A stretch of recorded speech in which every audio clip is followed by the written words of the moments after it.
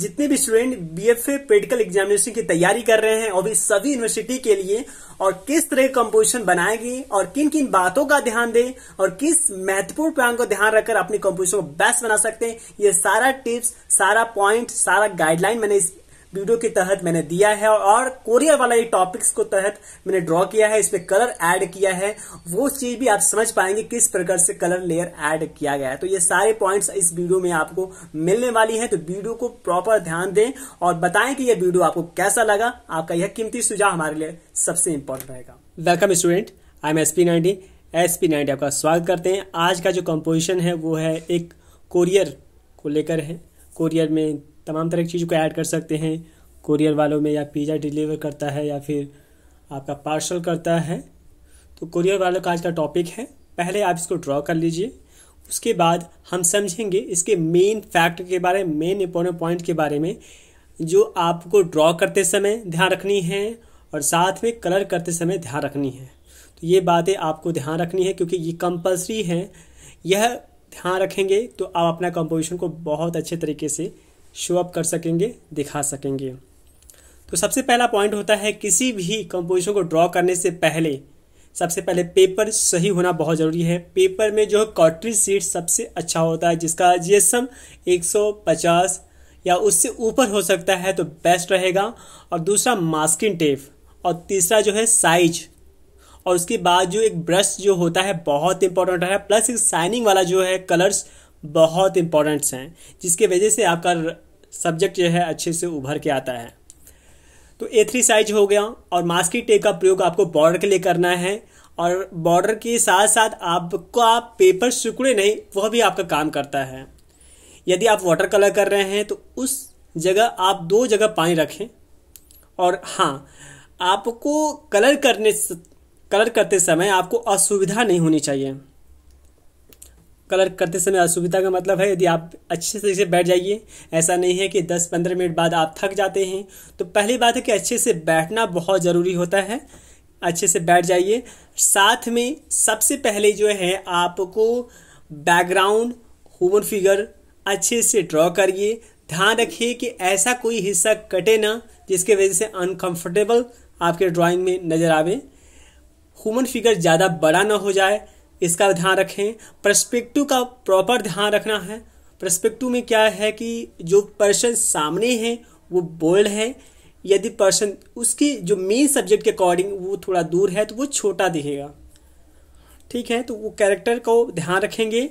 इसके अलावा आप ये ध्यान देखेंगे चेहरे का जो भाव है, वो कैसा है। जो कपड़ा पहना हुआ है, उसका कलर टोन्स उसका डार्क एरिया कहाँ कहाँ है, इन सब चीज़ों को पहले से जज कर लिया जाता है। और कोरियर वाला है तो उसके अकॉर्डिंग मैंने क्या क्या चीज़ें ऐड कर रखा वो आप देख पा रहे हैं।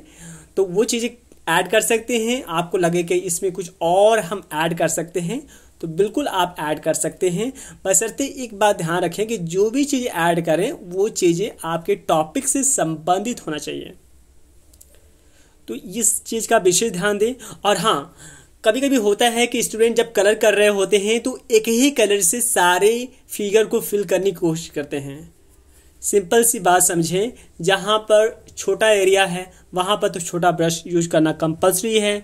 बहुत पतला छोटा छोटा एरिया है तो वहाँ पर ज़ीरो ट्रिपल ज़ीरो ब्रश का प्रयोग ज़रूर करें।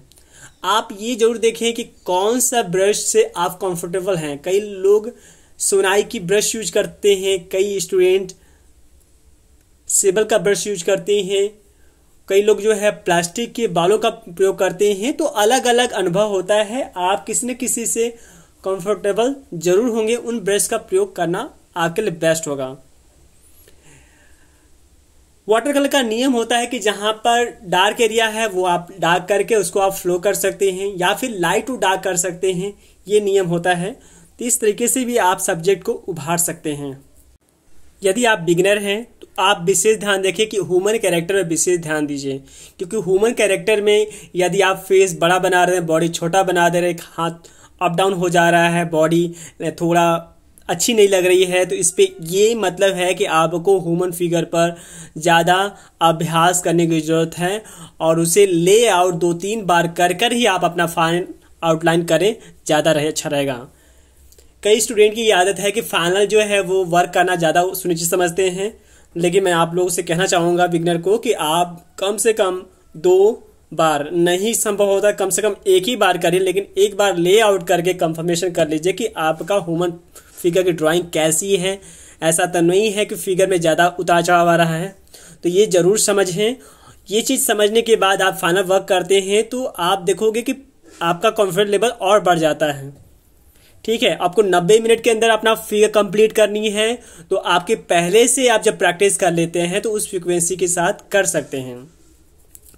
बिगनर को ये ज़रूर अनुभव होना चाहिए कि कौन से रंग मिलाने से ज़्यादा रंग बनाए जा सकते हैं। जैसे कि हरा रंग कैसे बन सकता है, वाले रंग किससे बन सकता है, पिंक रंग कैसे बनता है, ऑरेंज कैसे बनता है। तो द्वितीय रंगों का अभ्यास आपका ज़रूर होना चाहिए।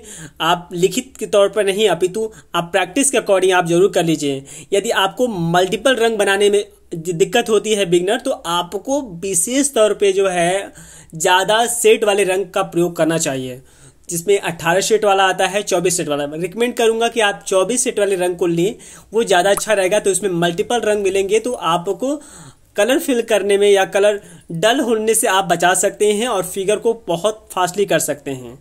तो ये ज़रूर ध्यान दें। इसके अलावा आप जहाँ भी वर्क कर रहे हैं तो आपका जो पैड साइज़ होना चाहिए, थोड़ा सा आप अपने आइज़ के अकॉर्डिंग रखें। कभी कभी फ्लैट रख देते हैं जिसकी वजह से बैक वाला जो एरिया होता है, दिखता नहीं है। तो पहली बात है कि आपका दिखना जो सही है तो थोड़ा सा ऊपर से जो है आप उठा लीजिए, ताकि आपको प्रॉपर फ्रेश दिखे। जैसे कि आप अभी रिफ्रेंस देख रहे हैं तो थोड़ा सा ये बैंड है जिसके वजह से बनाने में सुविधा होती है। तो ये मेरा आपका बेस्ट सुझाव है। इसके अलावा आप देखोगे कि किसी भी रेफरेंस को, किसी भी आप कॉपी करते हो तो उसमें आपको लाइट का विशेष ध्यान देना होता है कि कोई व्यक्ति है तो उसकी परछाई से उसके वास्तविक होने का अनुभव मिल जाता है। तो हर सब्जेक्ट में, हर ऑब्जेक्ट के नीचे शेड देना बहुत ज़रूरी है तो शेड अवश्य ज़रूर ऐड करें। आप सब्जेक्ट में शेड एरिया में जितना लेयर ऐड करेंगे, उतना सब्जेक्ट में उभारपन आएगा। ये ध्यान रखें।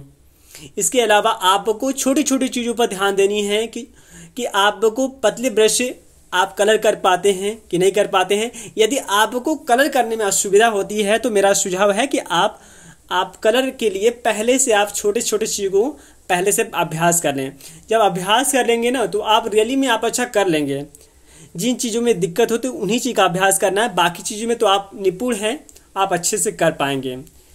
तो मुझे आशा है कि ये जितनी भी बातें मैंने बताए होगा आपको ध्यान रखा होगा। और यदि पूरी बातें आपने समझ लिया है और पूरी बात समझ लेंगे और इस नियम के अकॉर्डिंग करते हैं तो रियली में आप अपना कंपोजिशन अपना वाटर कलर आप जो कर रहे हैं, उसमें आप अच्छा से अच्छा परफॉर्मेंस कर पाएँगे। Okay student wish you all the best